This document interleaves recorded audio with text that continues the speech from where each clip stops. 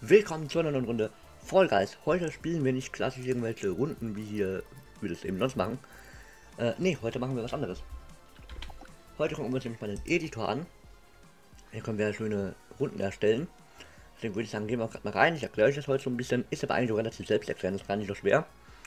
Ähm, wir gucken uns einfach mal an. Also wir drücken auf Erstellen eben. Und momentan kann man eben nur Wettrennen erstellen. Andere Modi sind bald, also sind bald erhältlich, steht hier, ist eben noch nicht verfügbar. Ihr kennt ja die klassischen Wettrennen. Dann können wir eben wählen. Möchten wir die Originalteile, also aus der ersten Season, also Season 1, die letzte Season 1 von Fall Guys eben, oder Digital, dann bauen wir im digitalen Retro-Look, also das aus dieser Season. Also momentan nur dieser Season und die erste Season verfügbar. Die anderen Seasons sind noch nicht verfügbar, die kommen dann wahrscheinlich bald.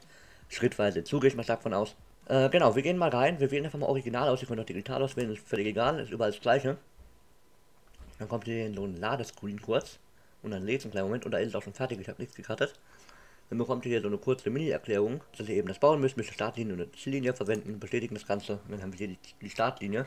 Jetzt ist schon direkt was wichtig, also wir können uns hier mit der Maus, können wir uns hier drehen und mit WASD, also ich spiele das ja an der Tastatur, wenn ihr auf der Konsole spielt oder allgemein mit Controller, dann sind das wahrscheinlich andere Tasten. Ähm, da weiß ich jetzt allerdings gar nicht, wie das da ist, müsst ihr mal probieren. Steht jetzt hier gerade noch irgendwo oder steht hier in der Hilfe vielleicht? Ja, das kann ich euch ja leider auswendig nicht sagen. Genau, ihr geht jetzt im Start. Wählt den mal aus mit entweder mit der linken Maustaste oder mit, äh, mit der Leertaste. Und geht dann mal hier, also drückt mal A und schiebt den ganz nach hinten. Das würde ich euch auf jeden Fall empfehlen, weil ihr seht ja hier, haben wir so eine Abgrenzung, die haben wir eben auch in die andere Richtung. Und so schafft ihr euch eben mehr Platz nach hinten. Außer ihr habt jetzt irgendwie vor, hier nach dem Start direkt eine 180 Grad Kurve zu bauen, dann natürlich nicht. Aber normalerweise ist das ja nicht der Plan bei der Sache. Ihr könnt auch, wenn ihr den jetzt weiter hochsetzen wollt, wenn ihr sagt, ich möchte gerne eine Sache, eine Route bauen, die weiter runter gehen soll, also die viele Berg runtergehen soll, weil nach unten und oben gibt es eben auch Begrenzungen, dann drückt ihr einfach mal R, dann klickt nach oben oder andersherum, wenn ihr den weit unten haben wollt, dann eben F. Ähm, genau. Und jetzt habe ich gerade eben Escape gedrückt, da wird das Ganze abgebrochen. Ansonsten müssen wir eben, wenn wir es bestätigen wollen, müssen wir die Leertaste drücken, um den eben hier hinzusetzen. Genau, wir können, ihr seht es hier nämlich auch schon, oben rechts, Startlinie. Hier beginnt eine Runde. Die Größe der Startlinie bestimmt die Optionen der Rundenregeln für die maximale Spieleranzahl. Damit bestimmt eben auch, wie viele Spieler teilnehmen können. Wie viele genau, das könnt ihr aber dann selber noch ähm, gucken. Also noch selber bestimmen. Ähm, mit Steuerung könnt ihr aber wieder auswählen, ob ihr einen großen, einen mittleren oder einen kleinen Start haben wollt. So kleiner Starter passt natürlich weniger Spieler drauf als auf dem großen. Das Ganze drücken wir mit Escape und müssen es dann gegebenenfalls bestätigen, wenn wir eine Änderung vorgenommen haben. Haben wir in dem Fall jetzt aber nicht. Genau, mit Shift kommt ihr hier zu den Modulen. Dann können wir beispielsweise hier erstmal ein, äh, was machen wir denn am besten zuerst? Wir setzen zuerst einen klassischen Boden. Dann müssen wir hier hin, gucken dann. Rastet hier so ein bisschen ein, es rastet hier so ein bisschen dran, das können wir ausstellen, wenn ihr das nicht wollt. Dafür müssen wir einmal in dem Moment, das müssen wir nicht drücken, das müssen wir drücken, Alt müssen wir drücken. Und dann können wir hier eben die, das Einrasten anmachen oder auch die Mehrfachauswahl, das erzähle ich gleich noch. Ähm, genau, wir machen das aber gerade mal. Wenn wir es beispielsweise, dann gucken wir hier, dass wir hier relativ am Rand sind, das rastet nämlich leider nicht ein. Bestätigen das dann und können hier dann uns so bewegen, wenn wir eine große Fläche haben wollen, zum Beispiel. Und drücken dann einfach Leertaste zu bestätigen. Genau, und dann drücken wir einmal die Escape-Taste und haben jetzt hier so ein tolles, äh, so eine tolle Fläche. Mit ihr habe ich mich jetzt gerade weiter nach hochgesetzt wieder. Jetzt wäre es natürlich cool, wenn wir sagen, wir wollen an der Leiter nicht runterfallen, dass wir den Zaun noch setzen. Dann haben wir so vorgefertigte Dinger. Dann können wir hier zum Beispiel den Zaun einmal hier drüben setzen. Wir können nicht irgendwie so den Zaun setzen, wir können nur entweder hier im 45 Grad Winkel oder im 0 Grad oder im 90 Grad machen. Genau, dann können wir hier zum Beispiel so einen Zaun machen. Können dann hier nochmal so einen Zaun machen. Das ist natürlich ein bisschen blöd, weil das ist jetzt überhaupt nicht symmetrisch, deswegen reißen wir das Ganze wieder ab. Drück mal kurz Escape und wenn wir mit der Maus über was drüber havern, seht ihr schon, können wir mit Q das Ganze löschen. Das drücken wir jetzt, dann müssen wir aber länger drauf drücken. Jetzt ist das blöderweise so, dass das mehrere Teile sind. Dann müssen wir dann mehrmals löschen. Nehmen dann hier wieder den Zaun und fangen dann wieder von der drüben an, wie bei dem anderen Zaun auch. Und haben ihn dann hier gesetzt. Das müssen jetzt gleich aussehen, tut auch, perfekt. Ja, hier können wir jetzt nichts mit Steuerung machen. Und wichtig ist eben auch, hier sehen wir die ganze Zeit diese Coins, hier diese Werkzeuge und dann diese Coins und hier oben sehen wir auch Coins. Ihr könnt eben nur, also sagen, die kosten eben alle Geld, also Geld, die kosten alle so Coins und ihr könnt eben nur bis 1000 Coins machen. Wenn ihr 1000 Coins erreicht habt, könnt ihr nicht mehr machen. Ähm, Was nicht empfehlenswert ist, also zumindest finde ich es nicht empfehlenswert, sind solche, solche Sachen hier, 205, äh, das frisst ziemlich viel Budget und bietet da, dafür ziemlich wenig Mehrwert. Also klar, wenn ich diese Bounce-Dinger damit noch haben will, dann ist das mit Sicherheit günstiger. Aber wenn ich hier die, sonst, wenn ich nur die Kreise haben will, dann ist das günstiger, die so zu setzen, als diese ganze, diese ganze Konstruktion hier. Jetzt können wir beispielsweise hier nämlich auch lustige Kreise setzen. Können das auch hier mit C kopieren. Wenn wir da beispielsweise irgendwelche Einstellungen vorgenommen haben und die ich nochmal vornehmen möchten, dann können wir das hier eben so machen. Könnt ihr mit Steuerung noch einstellen, ob das hier klein, groß, mittel sein soll. Dann können wir eine Startverzögerung machen, das ist für, für andere Sachen wichtig, aber zum Beispiel können wir auch noch die Richtung ändern. Können sagen, dass es schnell drehen soll oder langsam. So was können wir eben bei allen Sachen einstellen. Und wenn wir jetzt beispielsweise hier ähm, zum Beispiel, wo haben wir denn was Tolles? Hier. Hm. Wenn wir beispielsweise so Pendel hinsetzen, jetzt wird es nämlich interessant, weil ihr seht die Schwingrichtung hier. Also ich baue es, äh, es ist völliger Quatsch, was ich hier baue. Ähm, aber nur mal so, um es eben zu zeigen. Jetzt ist ja die Schwingrichtung falsch und wir können jetzt in den Einstellungen das auch nicht irgendwie verändern. Wir können ja nur die Schaukelrichtung ändern und wie schnell es geht und wie groß es sein soll. Äh, und den Farbe können wir ändern. Genau. Jetzt ist es aber so, dass wir zum einen die Drehung auch ändern können. Wenn wir E drücken, können wir die Drehung nämlich ändern. Und können dann hier mit Q... Ja, das können wir jetzt leider nicht ändern, weil da die komischen Drehkreise im Weg sind, die wir da eben gesetzt haben. Äh, aber theoretisch könnten wir es ändern. Wir es mit Z auf wieder zurücksetzen, falls wir merken, wir haben Quatsch gemacht. Hm, anhand der Pfeile müsst ihr euch hier orientieren, wie das gedreht ist. Das ist leider ein bisschen blöd. Hm, und wenn wir natürlich was Größeres haben, wie zum Beispiel... Was haben wir denn? Hier zum Beispiel so, eine, so ein Teil. Dann gehen wir ein bisschen hoch, eher, und dann rasselt das auch schon ein. Machen die Drehung und das können wir in verschiedene Richtungen drehen. Eben entweder mit A und D. Oder mit W und S. Oder eben wie eben mit Q und E. Genau, es muss halt eben genug Platz sein. Wir können das jetzt zum Beispiel nicht so drehen, weil da ist jetzt zum Beispiel wieder die, das, der Drehkreisel im Weg. Da müssen wir es eben, das können wir leider nur in der Höhe verstellen, wenn wir außerhalb des Menüs sind. Jetzt könnten wir es theoretisch mit E drehen. Q und E, Moment, das war jetzt falsch. da blicke ich selber noch nicht so ganz durch teilweise. Äh, jetzt muss ich nämlich mit S hier, so, und jetzt könnt, das könnten wir theoretisch jetzt so setzen. Bestätigen das und bestätigen nochmal. Und dann haben wir es jetzt eben hier diese, diese Faust platziert. Natürlich völliger Quatsch jetzt, wie wir das gemacht haben. Genau.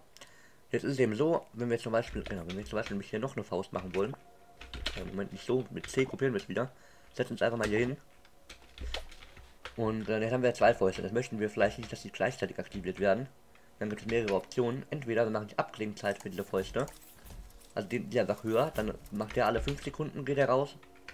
Und der alle 3 Sekunden. Damit gehen die natürlich auch nicht mehr gleichzeitig. Oder wenn wir sagen, wir möchten aber, dass die alle 3 Sekunden, alle 3 Sekunden eben ausgelöst werden. Dann machen wir eine Startverzögerung rein. Dann startet der und dann macht der eine Sekunde später geht er raus, zum Beispiel. Genau, wichtig ist natürlich dann auch Checkpoints. Das sind diese Dinger. Die können wir nämlich hier, dann können wir hier weiter runtergehen mit F wieder. Und können hier dann beispielsweise das dran setzen. Wir können es auch, also wir müssen das jetzt hier, wir können es auch hier hinten setzen und dann so einen Sprung machen, dass die Spieler springen müssen. Machen jetzt aber mal nicht. Genau, und hier rastet es eben wieder so schön ein. Ähm, genau, wir können natürlich auch wieder verändern von der Größe her. Da ist es aber wichtig, dass es eben also wenn es ganz klein ist, dann wird es eben auch größer, also länger. Das ist ein bisschen blöd. Genau, dann können wir es eben bestätigen. Wichtig ist eben, dass ihr immer wieder, also erstmal Escape, um aus dem Menü rauszukommen und dann bestätigen. Wichtig ist eben auch, dass ihr regelmäßig diese Checkpoints lässt. Natürlich nicht so in diesem engen Abstand wie ich jetzt, aber schon hin und wieder mal, weil ansonsten, wenn der Spieler stirbt, spawnt er natürlich wieder ganz am Anfang. Das ist natürlich richtig blöd. Genau, und am Ende ist natürlich auch noch notwendig, das Ziel zu setzen. Und das Ziel ist, lass mich kurz gucken, ist. Hier ist das Ziel, ne? Ja, hier ist das Ziel. Und auch hier können wir wieder einstellen, wie groß es sein soll. Von den Zielen können wir auch mehrere setzen. Das muss jetzt nicht unbedingt, äh, mit Escape bestätigen wir wieder. Also es muss nicht unbedingt nur ein Ziel geben. Wir können auch einfach mehrere kleinere Ziele zum Beispiel machen. Setzen uns jetzt hier hin. Das ist natürlich völlig schwachsinnig, die Map hier. Ein Checkpoint direkt vom Ziel und nur so ein Mini. Also, genau. Aber jetzt hätten wir es theoretisch gemacht. Jetzt können wir theoretisch auch testen. Mit G können wir hier uns hier hinsetzen hier vorne. Oder wir können es auch, wenn wir mal kurz gucken, wir können es auch sonst wohin setzen, wenn wir jetzt eine lange Map haben und sagen, ich möchte nur den Teil hier vorne testen, dann können wir uns auch hier vorne einfach hinsetzen. Und wenn wir es in die Luft irgendwo setzen mit G, dann sind wir automatisch am Start. So, jetzt gucken wir gerade mal. Jetzt sehen wir es auch hier. Wir haben da eine Verzögerung eingebaut, dementsprechend gehen die nacheinander, die Startverzögerung, genau. Also alle drei Sekunden gehen die raus, aber der geht eben eine Sekunde später raus, dann ich viel zu hoch, wir werden davon nicht getroffen. So. Da ist, weil wir halt im Test, in, in dem Test sind, können wir jetzt nicht ins Ziel kommen. Aber den Checkpoint haben wir jetzt eben geholt. So, es ist natürlich interessant. Zum einen Mehrfachauswahl. Wir können jetzt, wenn wir sagen, wir möchten mit mehreren Objekten irgendwas machen, können wir hier das eben aktivieren, was ich gerade aktiviert habe. Mit Alt kommen wir in dieses Menü rein. Also mit Alt, ich kann es gerade nochmal, zeigen. Äh, mit Alt kommen wir rein, drücken Mehrfachauswahl, drücken Escape zurück und drücken dann mit Leertaste wählen wir die einzelnen Sachen aus und können jetzt beispielsweise die Sachen, äh, Moment, wir können die jetzt zum Beispiel äh, mit C zum Beispiel, oder ne, Moment, wir machen es anders, wir machen die, wir greifen die äh, mit mit äh, Leertaste und setzen die dann zum Beispiel weiter hoch. Macht jetzt natürlich ja keinen Sinn, deswegen machen wir es jetzt mal nicht. Aber ähm, dann können wir die zum Beispiel greifen. Greifen können wir aber nur, wenn wir eben auf einem Objekt sind, was wir schon markiert haben, weil ansonsten, wenn wir irgendwo anders Leertaste drücken, dann, können, dann greifen wir es eben nicht und dann markieren aber das Objekt auch noch. Mit der Tab-Taste heben wir die Auswahl wieder auf, weil normalerweise wird man denken, ja, wir aktivieren es mit Leertaste und können es auch wieder deaktivieren. Nee, dann greifen wir es. Wir heben es mit der Tab-Taste auf, die äh, Auswahl. Mit Escape tun wir die Auswahl wieder löschen, dann haben wir das wieder nichts mehr markiert. Und dann ist es auch automatisch, wenn wir bei Alt gucken, Junge, das ist nicht automatisch deaktiviert. Ja, teilweise ist es automatisch deaktiviert, teilweise nicht. Das weiß ich noch nicht so ganz, habe ich den noch nicht ganz raus. Genau. Wir können auch hier lustige Rutschpartien bauen. Dekoration können wir auch bauen, aber Achtung, die kosten eben auch Coins. Das finde ich ein bisschen blöd. Deswegen die am besten immer zuletzt setzen, falls ihr nur Coins über habt. Hier können wir lustige Sachen machen. Wir können hier über diesen Pfeil oder auch wenn wir mit der, wenn wir drüber haben, mit der W-Taste können wir eben verschiedene Dinge auswählen. Ähm, genau. Ich glaube, für jedes jetzt die Einstellungsmöglichkeiten zu zeigen ist ein bisschen viel. Aber wir haben ja schon Wege und Möglichkeiten.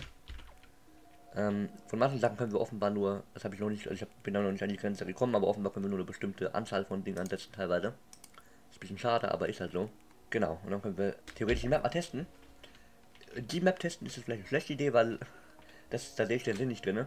Ähm, wir können aber hier mit Escape, theoretisch könnten wir dann noch veröffentlichen gehen. Genau, dann wird das hier getestet und läuft ein 4 Minuten Timer runter. Wir machen es aber erstmal anders. Wir testen nämlich mal eine Map, die ich bereits gebaut habe. Ich habe nämlich schon eine Map gebaut und die machen wir jetzt mal, da, da machen wir jetzt mal den Test. Und da seht ihr dann nochmal so ein bisschen, wie, was alles möglich ist, weil ich da versucht habe, so viel wie möglich einzubauen. Also los geht's. So, herausfordernde Abstieg heißt meine Map. Die habe ich in, äh, vor ein paar Tagen gebaut. Und wir laufen mal hier rum, wir sind ja halt immer in der Bauarbeiter-Skin, wenn wir testen, das habt ihr eben wahrscheinlich schon gesehen. Hier haben wir die Türen, da kann man auch einstellen, wie viele Türen davon offen sein sollen und wie viele nicht. Ist ja wie bei dem Türenlauf, hier können wir schon runterrutschen. Oh, je, mini. Da habe ich einen fetten Unfall gebaut. Hier die Teile, die sollten jemand wegkatapultieren. Das klappt nicht ganz so gut, aber wenn du voll drauf stehst, dann klappt das schon. Ja, hier sehen wir auch dafür... Oh Gott, da wollte ich gerade was zeigen. Deswegen bin ich runtergefallen. Äh, hier sehen wir, dass, dafür ist natürlich die Startverzögerung gut. Dafür, damit die nicht gleichzeitig pendeln. So, jetzt werden wir kurz mal gucken, dass wir hier nicht runterfallen. Hier können wir schön jumpen und hier habe ich eingestellt, dass sie zufällig... Oh nee, das war nicht gut. Dass sie zufällig... Äh, je, nee, nee, nee dass die zufällig... Oh, du Kacke, nee. Ja, das wird nicht gut enden. Genau. Ähm, dass die zufällig äh, oft... Also die Abdenkzeit äh, ist zufällig eingestellt. Dass die eben in einem zufälligen Rhythmus hier ausfahren. So, so soll es eigentlich aussehen. Wenn man eben noch nicht ganz sich wie aufgerichtet hat und dann hochgeschleudert wird, hat man eben ein kleines Problem. Hier habe ich auch das Problem, dass fast zu wenig Checkpoints gemacht sind, weil jetzt seht ihr, wir sind eben da hinten schon wieder gespawnt und jetzt ist immer noch kein Checkpoint da gewesen. Da vorne kommt der erst. Hier müssen wir ein bisschen aufpassen, dass wir nicht von den Dingern runtergeschleudert werden. Genau, jetzt ist der Checkpoint da, jetzt kommen wir hier lang. Jetzt müssen wir aufpassen, weil hier habe ich eingestellt, dass noch so ein Teil ist. Jetzt können wir theoretisch entweder hier lang oder da drüben. Das war nicht gut. Ja, das war nicht gut. Ja, ich kann meine eigene Map noch nicht. Also ist noch relativ schwer, muss man schon sagen. Oh, du Okay, da habe ich mich abräumen lassen. Genau, oben rechts seht ihr die Zeit. Vier Minuten war ursprünglich drin. Und in vier Minuten muss man seine eigene Map eben schaffen, weil irgendwann muss man die Map ja auch fertig haben. Also kann ja nicht unendlich lang dauern. So, jetzt bin ich hier. Theoretisch könnt ihr auch da drüben lang gehen. Das sind die Fäuste, die sind glaube ich nicht zufällig eingestellt, aber ist ja wurscht. Hier seht ihr schon Bananen fliegen hier unten. Hier müssen wir nämlich hochgehen und haben zwei Früchtekanonen, die immer Bananen schleudern. Wir können auch einstellen, dass sie andere Sachen schleudern. Oder eben, dass sie zufällig irgendwelche Sachen schleudern, weil es gibt ja verschiedene Sachen, die geschleudert werden können. Es kann Obst geschleudert werden, es kann äh, Holzstämme geschleudert werden oder Fußbälle, Basketbälle, kann ja alles geschleudert werden. Wir können aber leider nicht einstellen, ob, äh, also dass jetzt zum Beispiel nur Bananen und Äpfel geschleudert werden. Also entweder können wir nur einstellen, dass nur Bananen geschleudert werden oder dass zufällig aus allem was geschleudert wird. Finde ich noch ein bisschen schade. Ja, hier, das ist ein schnell schwingendes Pendel. Nun kommen wir hier ins Ziel, bei 1,26. Ich habe natürlich viel gelabert und bin deswegen auch viel runtergefallen. Aber wir haben es eben geschafft und jetzt könnten wir es theoretisch veröffentlichen. Ähm, machen wir jetzt aber gerade nicht, weil die Map ist schon veröffentlicht. Hm, hier über Bearbeiten können wir auch einstellen, wie wir die Runde, wie die Runde heißt oder auch äh, können eine Beschreibung hinzufügen und für wie viele Spieler das Ganze ist. Also eben, wenn ihr hier Escape drückt in dem Menü und dann Bearbeiten drückt, dann könnt ihr das einstellen. Das sollte soweit alles sein. Jetzt gucke ich mal gerade, falls ihr Interesse daran habt, das ist, das ist ein bisschen blöd noch, also da habe ich noch keinen guten Weg gefunden, das herauszufinden, aber falls ihr äh, Interesse daran habt, dann sage ich euch auch gerne den Code von der Map, dass ihr die auch spielen könnt. Ähm, und zwar muss ich dafür eine Runde hosten, das ist momentan der Weg, den ich immer wähle. So, dann kann ich nämlich meine eigene, da kann man nämlich hier bei der Show auswählen und kann dann hier herausfordernder Abstieg auswählen. Dann ist das hier der Code, den ihr eingeben müsst, wenn ihr nämlich zum Beispiel jetzt eine Map von einem anderen spielen wollt, die ihr noch nie gespielt habt, dann könnt ihr hier Code eingeben und könnt dann eben den entsprechenden Code eingeben. Mein Code ist eben so, ja, alles klar, das wollt ihr eigentlich nicht. Genau, das sollte soweit alles sein. Könnt ihr dann eben das mit euren Freunden auch spielen. Es geht auch mit zwei Leuten schon. Teilweise geht es auch schon mit, einer, mit einer Person. Tatsache, scheint zu gehen. Dann würde ich aber sagen, es dauert immer einen kleinen Moment, das mit dem Server zu verbinden, aber sollte funktionieren. Deswegen würde ich sagen, das war's von dieser Runde. Ja, es war ja eigentlich keine Runde, es war ein kleines Tutorial zum Editor. Wenn euch das gefallen hat und hilfreich für euch war, ja, einer von einem Spieler, falls es für euch hilfreich war, bewertet doch gerne den Part. Und äh, genau, dann bis zum nächsten Mal. Und ciao.